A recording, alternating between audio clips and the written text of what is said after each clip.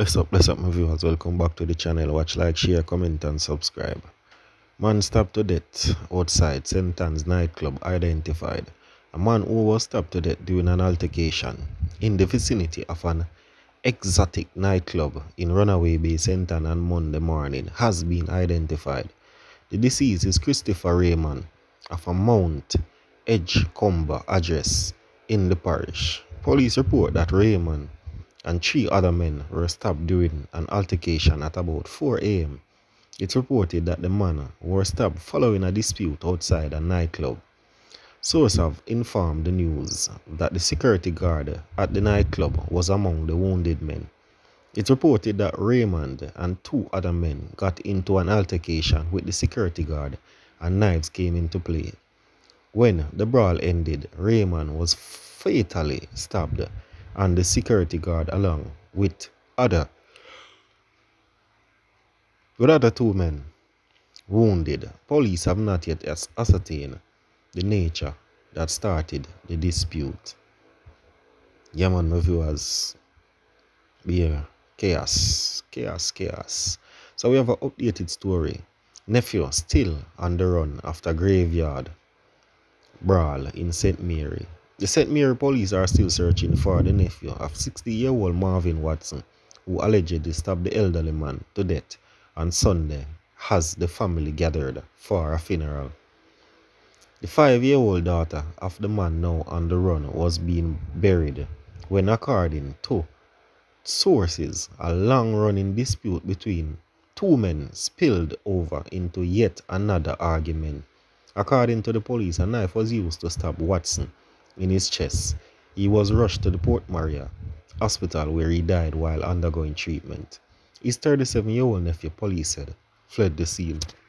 NCB employee charged in multi-million dollar fraud. An employee of the National Commercial Bank has been charged in connection with a million, multi-million dollar fraud at its island largest commercial bank.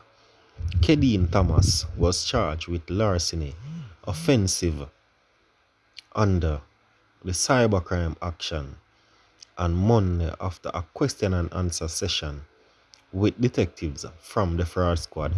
She set to appear in St. Ann Parish Court on Friday.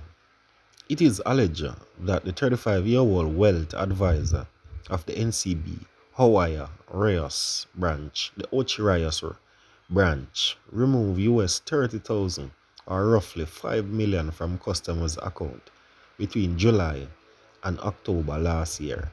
She reportedly forget the signature of the see fraud the signature of the customer on a debit instru instrument after which she debited his account and transferred funds to several accounts include hers she was arrested last week. The bank is currently undertaking an audit and investors believe the amount of alleged fraud could increase at the end of this exercise.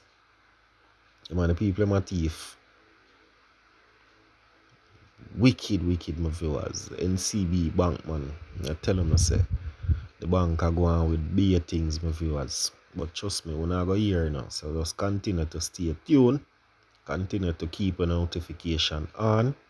Yeah, man. So just do what's right. Do the right thing. Watch, like, share, comment, and subscribe to the channel. If you're new, leave a comment also. Because the more you like, the more you share the video, the more YouTube automatically recommend the video to other law-abiding citizens, such as yourself. So, bless up, my viewers.